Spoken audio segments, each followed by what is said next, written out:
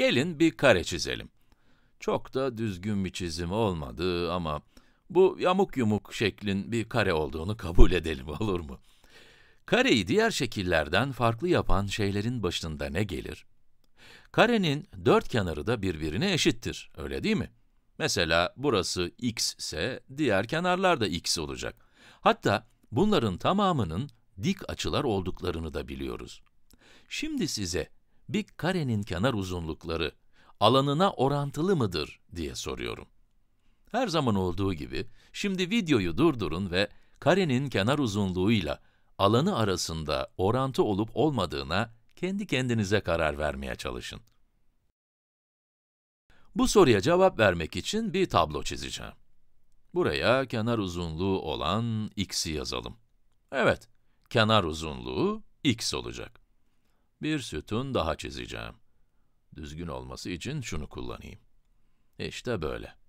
Evet, buraya da alanı koyacağım. Karenin alanı nasıl bulunur? Kenar uzunluğunun karesini alırsınız. Başka bir deyişle, genişlik çarpı yüksekliği hesaplarsınız, öyle değil mi? x çarpı x, x kare eder.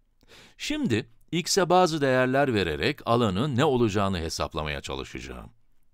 Eğer x 1 ise, alan 1 çarpı 1'den 1 olur. x 2 olursa, alan 2 çarpı 2'den 4, x 3 olursa da alan 3 çarpı 3'ten 9 olur. Bu şekilde devam edebiliriz ama ben bunların kenar uzunluğu alana ya da alan kenar uzunluğuna orantılı mıdır sorusuna cevap vermek için yeterli olacağını düşünüyorum. Orantılı olup olmadığını anlamak için değişkenler yani bu örnekte kullanılan kenar uzunluğu ve alan arasındaki orana bakmalısınız. Orantı için bu oranın her zaman aynı olması gerekir. Kenar uzunluğuyla alan ya da alanla kenar uzunluğu arasındaki orana bakacağız demiştik. Bunu şöyle yazayım. Alan bölü kenar uzunluğu. Şimdi tabloya bir sütun daha ekleyip, buraya da alanla kenar uzunluğu arasındaki oranı not edeceğim. Burada oran 1 bölü 1'den 1'dir. İkinci sıra için oran 4 bölü 2'den 2'dir. Aslına bakarsanız, 2'yi bulduktan sonra devam etmemize bile gerek yok ama bunu da hesaplayalım. Buradaki oran da 9 bölü 3, yani 3'tür. Her seferinde farklı bir değer elde ettiğim için, yani oran sonucunda bulduğum değerler sabit olmadığı için, kenar uzunluğuyla alan orantılı değildir diyebiliriz. Şuraya da yazalım. Orantılı değil. Tabloyu yakından incelediğinizde, oranın kenar uzunluklarına eşit olduğunu görebilirsiniz.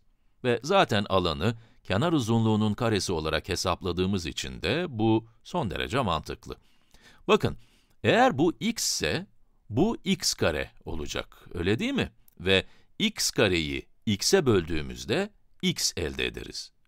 x çarpı x, x'e bölündüğünde, x'ler birbirini götürür ve geriye x kalır. Karenin kenar uzunluğu ve alanının orantılı olmadığını bir kere daha tekrar ettikten sonra videoyu burada noktalıyorum. Hoşçakalın.